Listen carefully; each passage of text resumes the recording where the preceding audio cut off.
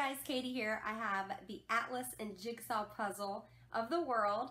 This is our new um, puzzle that just came out, fall of 2017. It's a 300 piece puzzle, comes in a great box. Um, it's a very sturdy box here.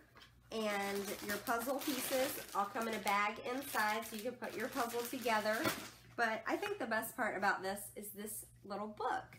Um, I was not anticipating that a book came with it.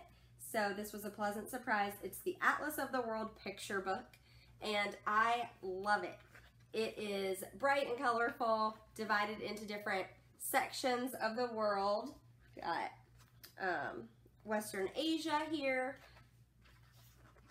and just different things on each page. So it points out, obviously, uh, the locations on the map, but also there's little kind of clip art pieces in each section um, whether it's animals or landmarks, um, trees, flowers, different things that occur in that uh, geographical area, which is really fun.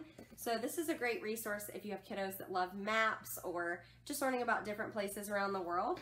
You can find the um, Atlas Jigsaw Puzzle and get the puzzle and the book all in one. Uh, you can find this on my website. That's usborneBookBattalion.com. Thanks.